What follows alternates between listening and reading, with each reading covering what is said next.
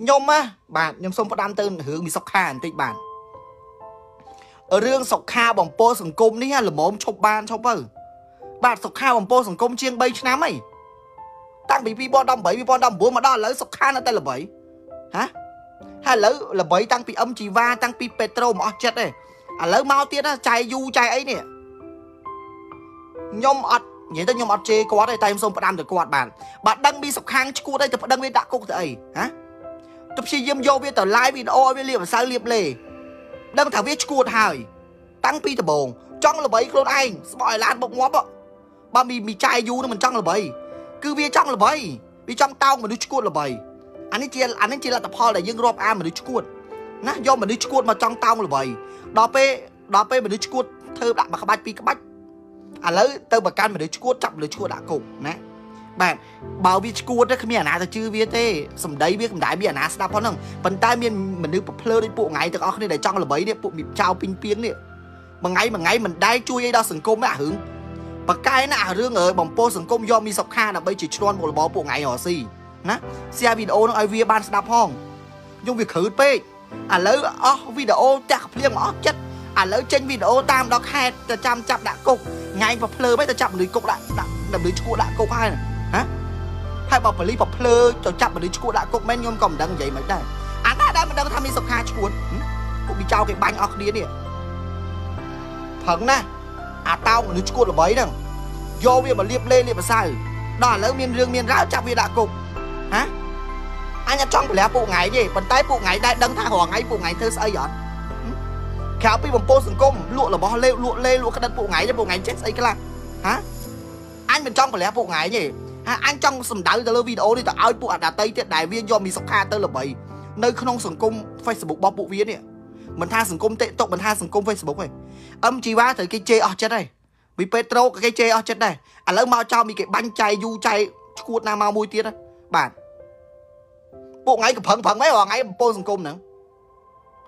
ពួកថ្ងៃនេះចេញវីដេអូរឿងយួនលួចទឹកដីពួកថ្ងៃនេះប៉ូលីសគេចេញចាប់អីចេញវីដេអូមកទៅក្លាយវីដេអូចាប់ពួកមីយួនដាក់គុកមើល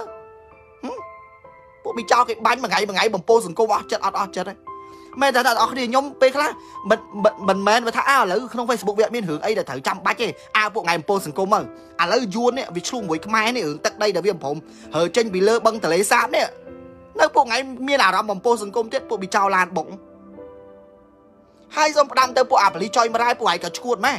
មីសុខានឹងវាឈួតទេឯងទៅចាប់មនុស្សឈួតរងាប់អីពួកអាឡានបុកអញវាអត់ចង់ជេរទេ បើដឹងថាវាឈួតហើយហើយពួកថ្ងៃក៏អញ្ចឹងដែរពួកបិចោគេបាញ់អីមិនដឹងថាវាឈួតទេវីដេអូដែលវានៅក្នុង TikTok តែប្រហែលចេញមកគេជេរវារហូត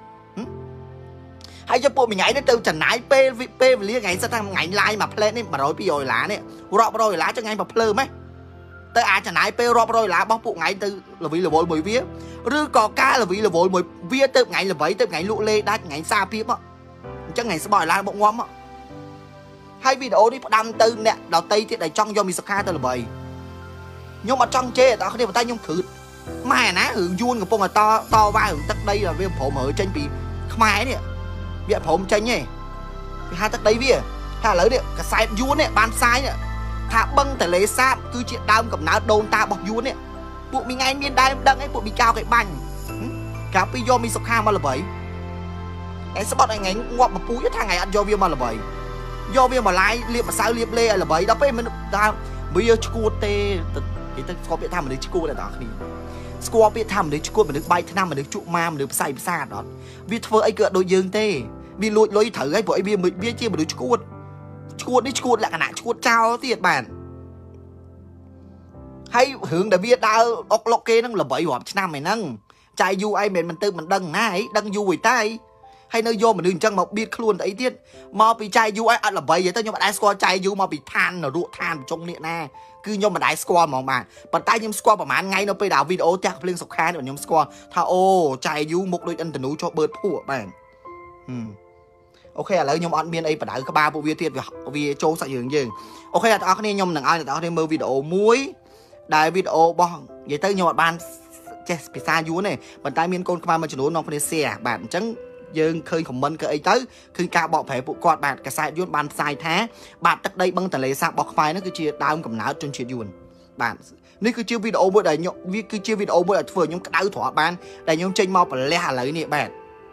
ហើយផ្ដាំទៅពួកមីចោអស់ពួកមីចោគេពីងពីងចោអស់កាតហ្នឹងបាទជួយជួយ share ផងរឿងប្រទេសជាតិអញ្ចឹងថ្ងៃបំពល់សង្គមឲ្យថ្ងៃបំពល់មករឿងប្រទេសជាតិអញអញជួយ share support ថ្ងៃទៀតគ្រប់ត្រង់ឲ្យអស់ពីចិត្ត ប៉ុន្តែណាស់ទៅពួកថ្ងៃបំពល់សង្គមយកមីសុខាហ្នឹងអញវាអញវាទ្រាំអត់បានអញវាថាវាល្មមមករឿងសុខាវាបញ្ចប់ទៅ វាទៅដល់ខេតហើយអើយអូខេលោកអឹមជីវ៉ាហ្នឹងខំចេញលុយថ្លៃតាក់ស៊ីទៅដល់ខេតហើយឥឡូវថ្ងៃយកវាមកបំពេញទៀតមីចោលគេបាញ់យកវាមករយងាប់យកទៅដាក់គុកហើយថ្ងៃដាក់គុកហើយថ្ងៃស្មាគេហ្នឹងគាំទ្រថ្ងៃវាឈួនហ្នឹងអញគ្រឺដល់អស់គ្នាខ្ញុំគ្រឺវាហ្មង អ្នកអ្នកនិយាយថាអ្នកអឹមជីវ៉ាពេត្រូទៅវាមិនសូវភ្លាវដល់ពេលមីកាយូនេះចេញមកភ្លាវជាងគេជាងឯងទៀតអូខេនេះ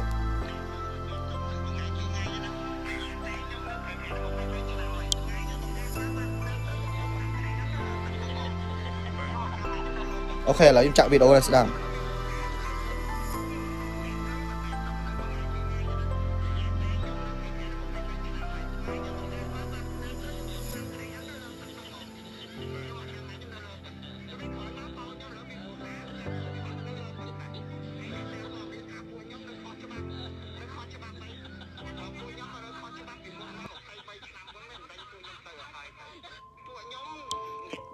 អូខេហ្នឹងហើយអឺវាបានបាទកូនយួនដែលវាកើតលើទឹកដីខ្មែរវាបាននិយាយថាបាទវាមិននៅលើទឹកហ្នឹង23ឆ្នាំហើយបើសិនជាវាមិននៅខុសច្បាប់ហេតុអី23ឆ្នាំមុនមិនព្រមចាប់ពួកវាមិនព្រមដេញក្បាលពួកវាចេញដល់ឥឡូវវាមានប្រពន្ធមានកូនឥឡូវកូនវាលើទឹកហ្នឹងទៀតមិនដែរពួកអាឆ្កែកាជះយួនទាំងអស់គ្នាពួកឯងណាពេលដែលអញចេញវីដេអូកាលពី7 8ឆ្នាំមុនអារឿងយួននៅលើទឹកហ្នឹងណា ពួកឯងថាអញហ្នឹងបំពោសង្គមជាពិសេសពួកអារតនៈពួកអាខ្លាសពួកអាស្អីនេះពួកអាបាតសង្គមនេះពួកអាស្អីអធិរិមហាសាច់អីទាំងអស់គ្នាហ្នឹងបាទវានាំគ្នាឌីលថាយើងនឹងបំពោសង្គមពួកអាបំផ្លាញជាតិមិនមែនពួកអាសង្គ្រោះជាតិពួកអាសាងគ្រោះឲ្យជាតិណាប៉ុន្តែឥឡូវកូនយួនសម្ដីកូនយួនចេញមកខ្លួនឯងបានពួកឯងភ្លឺក្បាលមែនការដែលអញចេញមកប្រឆាំងយួនដបងដបងគឺពួកឯងមិនដែលយកសម្ដីរបស់អញចូលក្នុងតិចពួកឯងទេ ដល់ពេលឥឡូវពួកវាអត់ព្រមចេញទេបើវាព្រមចេញតើតាពួកឯងទាំងអស់គ្នារកដីណាវានៅលើគោកសុកចិត្តអត់ហើយប្រហែលគ្រួសាររាប់រយគ្រួសាររាប់ពាន់រាប់ម៉ឺននេះមានដីណាវានៅហើយបើឲ្យដីវានៅវាដូចចាញ់ជ្រាបវាពេកពីព្រោះពួកវាមិននៅខុសច្បាប់ បាទអាយវីដេអូនេះ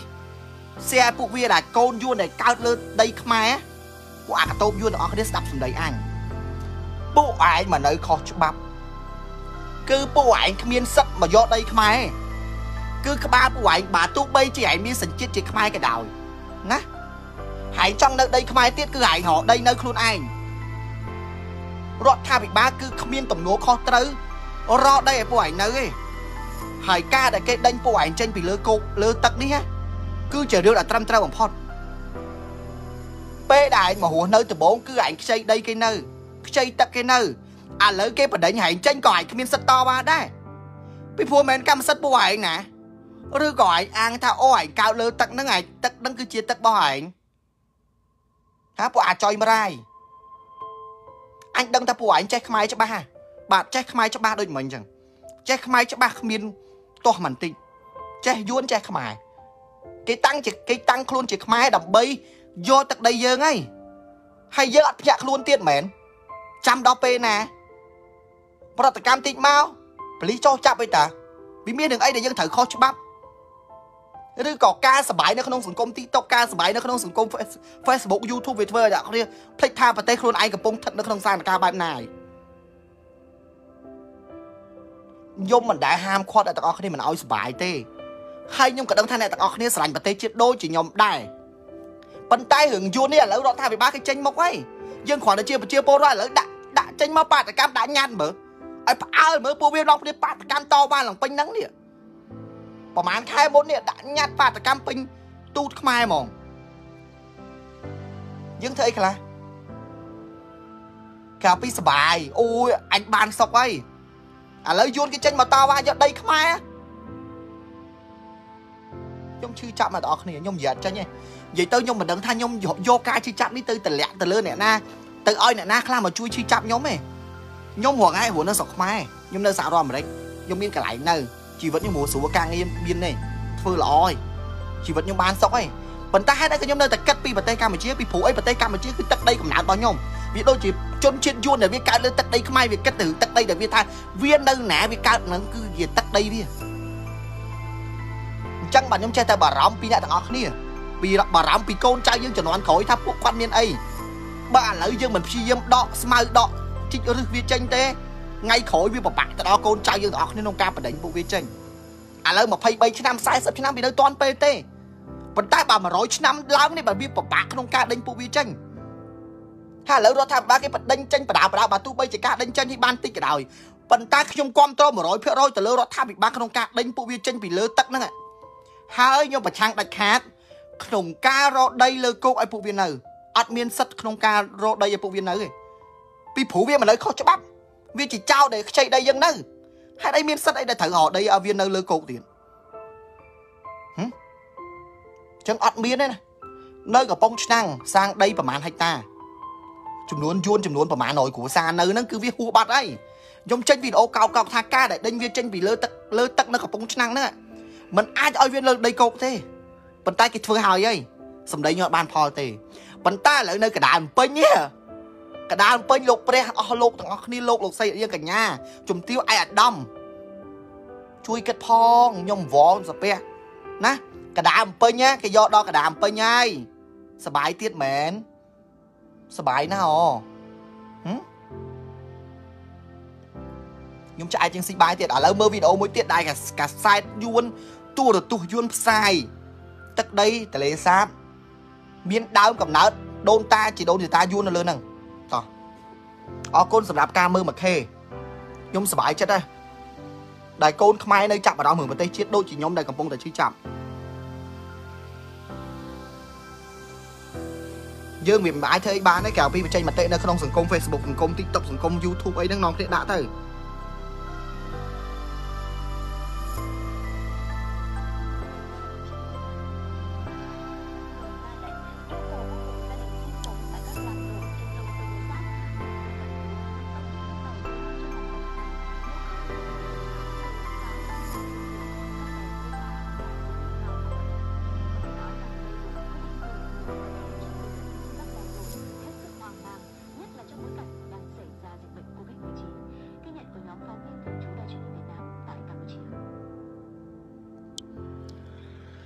មិនដែរមានអារម្មណ៍មិនដែរ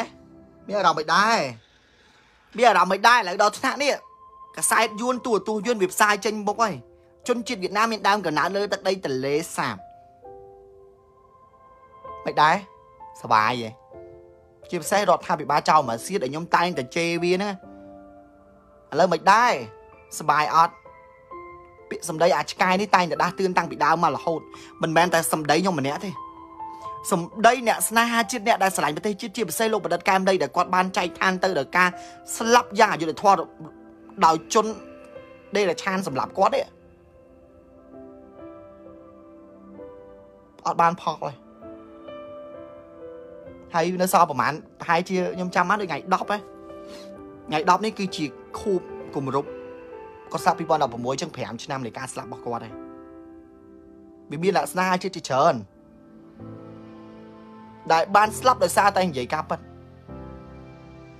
ដែលបានស្លាប់ដោយសារតែពួកគាត់បារម្ភពីប្រទេសជាតិខ្លួនឯងឥឡូវទឹកដីកដាលពេញនេះគេចង់បានហើយអញ្ចឹងយើងជាកូនខ្មែរត្រូវធ្វើម៉េច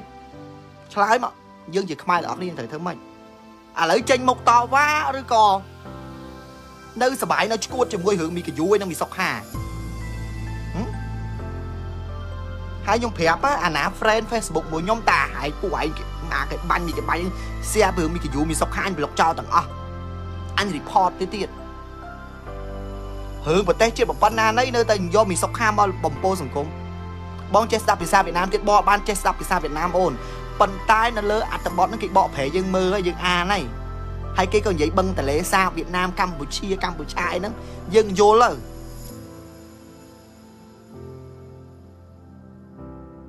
ចឹងអ្វីដែលយើងទាំងអស់គ្នាតែងបារម្ភឥឡូវវាកើតឡើងហើយខ្ញុំមកឯនេះខ្ញុំមកសំដែងការជឿចាប់ខ្ញុំមកឲ្យអ្នកទាំងអស់គ្នាដាស់អ្នកទាំងអស់គ្នាថាត្រូវធ្វើម៉េចឥឡូវនេះឥឡូវហ៊ានចេញមុខតវ៉ាក្នុង Facebook អត់ហ៊ាន share វីដេអូដែលតាក់ទងរឿងហ្នឹងអត់ប្រឆាំងមួយពួកវាអត់ចេញវីដេអូក្នុង TikTok 20 second 20វិនាទីមិនតិចតួចនៅក្នុងអឺ TikTok មកឲ្យវាល្បីមើលឲ្យល្បីជាងរឿងមីសុកខាឲ្យបានមើលបើធ្វើប៉ុណ្ណឹងបានមិនបាច់កើតជាខ្មែរទេទៅងាប់អស់ មានវីដេអូមួយទៀតខ្ញុំឲ្យមើលខ្ញុំ share បានទាំងអស់អញក្តៅហ่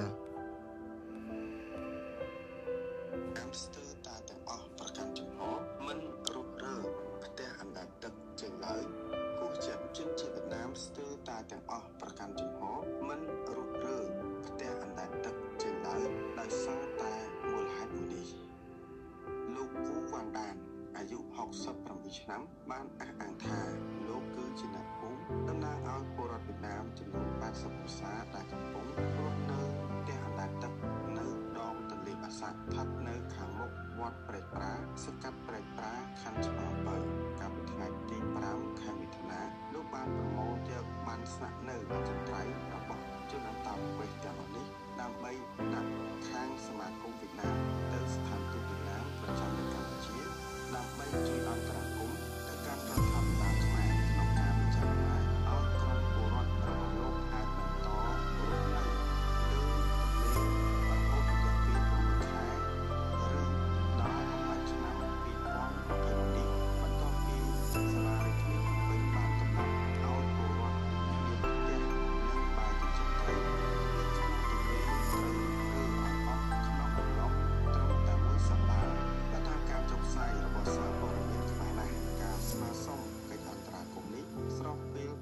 ពលរដ្ឋវៀតណាមស្ទើរតែទាំងអស់មិនអាចចាប់ផ្ដើមរុះរើផ្ទះអណ្ដែតទឹកនិងបែរចិញ្ចឹមត្រីតាមអសានវត្តមួយសប្តាហ៍នេះទេលោកមានដានដែលបានរស់នៅ និងប្រកបរបរចិញ្ចឹមត្រី នៅលើទឹកដីកម្ពុជាជិត30ឆ្នាំមកហើយនោះបានប្រាប់សារព័ត៌មានខ្មែរណាស់ថាការຕົកពេលត្រឹមមួយសប្តាហ៍គឺមិនអាចរុះរើផ្ទះនិងបាយចិញ្ចឹមត្រីទាន់ពេលវេលាឡើយដោយសារត្រីខ្លះនៅតូចតូចមិនទាន់អាចចាប់លក់បានអូខេឥឡូវនៅក្នុងវីដេអូនេះមួយទៀតបាទខ្ញុំអត់ដឹងថាវិធានការរបស់រដ្ឋាភិបាលក្តៅកគុកយ៉ាងណាទេប៉ុន្តែរឿងនេះពួកអាតូបយួនពួកអាចុយមរាយណា ហើយលើកហេតុផលថាអូយមកអាទិត្យរើអត់តន់ណែពួកអាចុយមរាយគេមិនទៅប្រាប់ពួកឯងទេអារឿងហ្នឹងគេប្រាប់ពួកឯងតាំង3ឆ្នាំមុនណែសួរក្បាលអញនេះតែពួកអាចុយមរាយមីចុយមរាយនាំគ្នាតបាតកម្មនៅសមាគមយួនដើម្បីឲ្យជួយ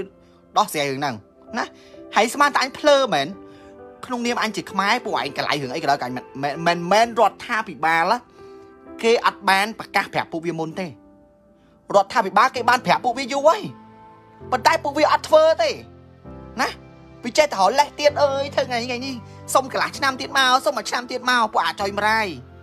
ពួកឯងមកនៅទឹកដីគេ23ឆ្នាំហើយពួកឯងអត់អស់ចិត្តទៀតទេចង់នៅប្រហែលឆ្នាំទៀតចង់នៅដល់ពួកអញនឹងអស់ដីនៅបានពួកឯងសុកចិត្តមែនគឺពួកឯងសមឲ្យទៅរើទៅយួនវិញអញនិយាយទៅខ្ញុំគាំត្រូវដាច់ខាតឲ្យរដ្ឋាភិរដ្ឋាភិបាលបដិញក្បាលវាទៅនៅស្រុកយួនវិញហើយសម្រាប់អ្នកណាគេដែលគាត់គាំត្រូវដូចខ្ញុំណាបាទសូម share ទាំងអស់គ្នា ខ្ញុំសោកស្ដាយបំផុតដែលខ្ញុំអត់ចេះកាត់តវីដេអូនៅក្នុង TikTok អត់ត្រូវធ្វើម៉េចដើម្បីកាត់តវីដេអូហ្នឹងវីដេអូខ្ញុំជាមួយវីដេអូយួនទៅបាទបើខ្ញុំចេះខ្ញុំធ្វើភ្លាមបាទដើម្បីនិយាយពាក្យមួយម៉ាត់ថាខ្ញុំគ្រប់គ្រងរដ្ឋាភិបាលឲ្យបដិញជនជាតិយួនដែលនៅខុសច្បាប់ជាង20ឆ្នាំឲ្យទៅសុកយួនជាបន្តសម័យលុនណុលដេញក្នុងរយៈពេល3ថ្ងៃមកសម័យដែលចូលមួយអាទិត្យហ្នឹងវាសំណាងពួកឯងហីបាទ ពីព្រោះគេប្រកាសពួកឯងរាប់ឆ្នាំហើយតែពួកឯងចេះនៅនៅនៅអត់ចេញដល់ឥឡូវគេចេញធေါ်ក្តៅមកធ្វើអីឡាំប៉ាពួកអាចុយមរាយហ៎ហើយអ្នកទាំងអស់គ្នាជួយ share វីដេអូនេះឲ្យពួកវាបានឃើញបាទវាសមហើយដែលពួកឯងមកទៅរើចេញបើអញជាយុរដ្ឋមន្ត្រីអញຕົកពេលពួកឯង24ម៉ោងតែពួកឯងហើមចេញគឺអញចាប់បញ្ជូនក្បាលពួកឯងទៅវិញមិនអាចជន់ទឹកដីខ្មែរមួយជីវិតមកនិយាយក៏ចង់បាទនិយាយទឹកភ្នែកហៀទឹកភ្នែកហៀទឹកស្វាអស់ហើយបាទវាឈឺចាប់ពេក វាជាចាញ់ចិត្តពួកវាពេកវាមិននៅលើទឹកដីយើងហើយវាអត់ចង់ចាញ់ទៀតបាទគេមិនទៅដេញវាទេអ្នកនរគ្នាគេមានវិធានការរាប់ឆ្នាំហើយអាវីដេអូកា3ឆ្នាំមុននោះវាគ្រាន់តែជាវីដេអូមួយដែលល្បីទេប៉ុន្តែមុននឹងរាប់ឆ្នាំទៀតដែលគេចេញវិធានការរឿងឲ្យពួកវារើហ្នឹងប៉ុន្តែពួកវាគឺមិនរើទេអានិយាយទៅអាកាពូចចោបាទអូឯងលួចរបស់ឯងបានមិនឲ្យឯងវិញបាទគឺកម្ពុជាពួកវាគឺអញ្ចឹងកតោបយួនសណ្ដានយួនហើយ ហើយកុំស្មានថាពួកអញខ្លាចហើយអាសោះពួកឯងហ្នឹងគេអាចខ្លាចទេណាបើពួកអញចិត្តសឿងមានមួយយួនអាយួនណាដែលនៅលើដីខ្មែរចេញវីដេអូតមកអញមកចេញវីដេអូក្នុងនាមឯងជាយួនកើតលើទឹកដីខ្មែរសញ្ជាតិខ្មែរមកមកមកតទល់ជាមួយអញជនជាតិខ្មែរដែលមានម៉ែឪជាខ្មែរមកមកមកតតាំងមកចេញវីដេអូមកបើពួកអញចិត្តសឿងពួកអញកើតចេញពីក្រួយម៉ែឯងមែនហើយចេញមកចេញមកបាត់ពួកឯងនឹងថាអើឥឡូវឯងមានហេតុផលអីដែលពួកឯងនិយាយចង់ចង់ឈ្នះចង់ចាញ់មួយពួកអញ ដែលពួកឯងត្រូវនៅលើទឹកដីនឹងទៀតនេះមិនចេះកាត់ចាំខ្ញុំកាត់ឲ្យហ្នឹងហើយអូនមិនដឹងអូនបងបាទជួយកាត់ខ្ញុំហ្មងដើម្បីខ្ញុំចង់ធ្វើម៉េចយកវីដេអូមកបង្ហោះក្នុង TikTok ដូចនេះនិយាយទៅអ្នកដែលគាត់មាន account TikTok ល្បីគឺគាត់ជួយផងបាទជួយឲ្យទៅពេលនេះគឺយើងសាមគ្គីគ្នាជួយមកអស់ដៃមកពីព្រោះខ្ញុំដឹងថាឥឡូវមិនមែនជាសង្គម Facebook គឺជាសង្គម TikTok បាទ TikTok គឺត្រូវវាយលុកជាងសង្គម Facebook អញ្ចឹងខ្ញុំមិនមែនជាអ្នកល្បីនៅក្នុង TikTok ទេគ្រាន់តែខ្ញុំចង់ឲ្យវីដេអូដែលខ្ញុំនិយាយតែប្រហែល ប្រតិកម្មតែយួននេះវាល្បីដល់ពួកជនជាតិយួនធ្វើម៉េចឲ្យយួនវាតមកយើងនេះអាហ្នឹងទើបយើងបានបានយើងដឹងថាវាជាចំណុចចាប់ផ្ដើមមួយក្នុងការសើបាទអញ្ចឹងថ្ងៃនេះខ្ញុំមានតែប៉ុណ្្នឹងដោយសារតែចិត្តដល់ម៉ោងគេងហើយវីដេអូនេះក៏វាច្រើនដែរបាទអញ្ចឹងក៏វាបាញ់បានច្រើនដែរចាំយើងស្អែកកាន់ស្អែកបើមានរឿងអីទៀតខ្ញុំចេញមកទៀតហើយគ្រាន់តែផ្ដាំទៅមីកាយូហើយនឹងមីសុខាបាទមីថ្ងៃទាំងអស់គ្នានេះឈប់បងពោសង្គមវាមិនមែនជាពេលដែលពួកអញត្រូវចំណាយពេលស្ដាប់រឿងពួកថ្ងៃទេ វាជាវាជាវាជាពេលវេលាមួយដែលពួកអញត្រូវតតាំងមួយយូរនឹងទឹកដីពួកអញបាទសូមអរគុណ